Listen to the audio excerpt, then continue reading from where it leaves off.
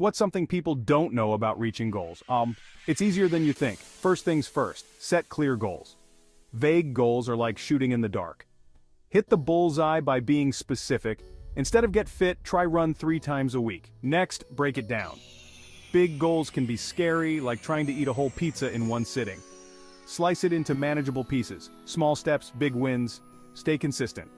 Remember, Rome wasn't built in a day and neither are your dreams. Make a routine and stick to it. Even when Netflix tempts you, celebrate the small wins. Treat yourself. Each step forward is progress. Even if it's just a little cheer dance in your room. Lastly, ditch the negativity. Surround yourself with cheerleaders, not naysayers. You got this. Ready to smash those goals? Let's go get them. Don't just dream it, do it.